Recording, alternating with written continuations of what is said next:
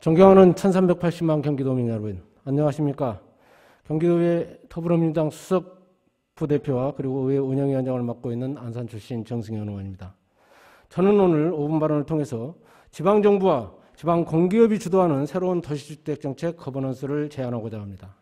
최근 한국도시주택공사에서 촉발된 신도시 땅 투기 의혹, 이른바 LH 사태는 우리 사회에 큰 충격을 주었습니다. 본 의원은 이번 사태의 원인이 개인의 일탈도 있겠습니다만 도덕적 해이도 있겠고 또 더 근본적으로는 LH라는 국가 공기업의 재무 상태와 수익 창출 형태는 물론 과도한 권한과 역할을 부여한 구조적 문제에서 비롯되었다고 감히 생각합니다. LH 재무 상태를 살펴보면 표출된 자료 1에서 보는 바와 같이 2019년 기준 LH 총 자본은 49조 8천억 원에 부채는 약 127조 원으로 254%의 부채 비율을 보이고 있습니다. 매년 이자로 지출되는 비용 또한 표출자료 2와 같이 약 2,900, 2,696억 원으로 매월 약 225억 원의 이자 지출이 발생하고 있는 것이 현실입니다. 특히 표 3과 같이 서민들의 주거 안정을 위한 부동산 임대, 임대 사업에서 약 1조 원의 적자를 보인 반면 토지 사업에서는 약 4조 원의 매출 총이익을 보였습니다. 즉 서민들의 주거 안정을 명분으로 토지 사업을 통한 이익을 얻는 토지 도매합제적 면모를 보이고 있다고 해도 과언이 아닐 것입니다.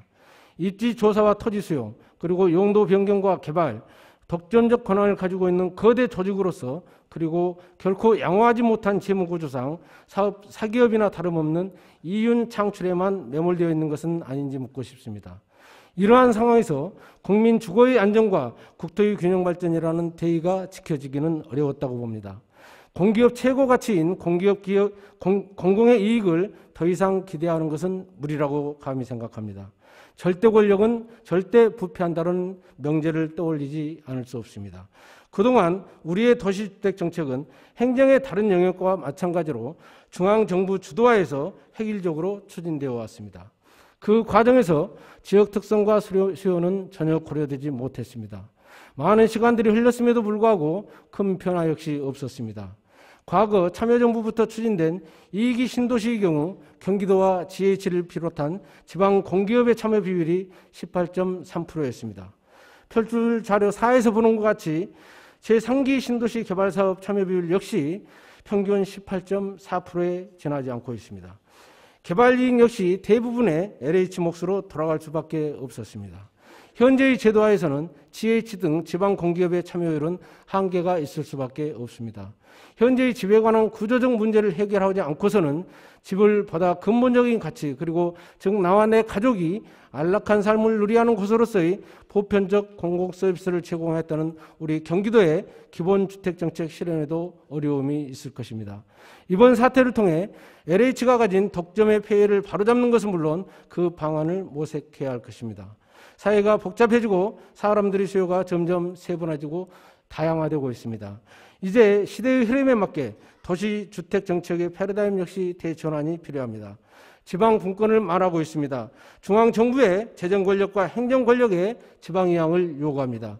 도시 주택 정책의 주도권을 중앙이 아닌 지방 정부에 이임하고 지방 공기업이 지역 특성에 맞는 맞춤형 주택 정책을 펼쳐야 한다고 생각합니다.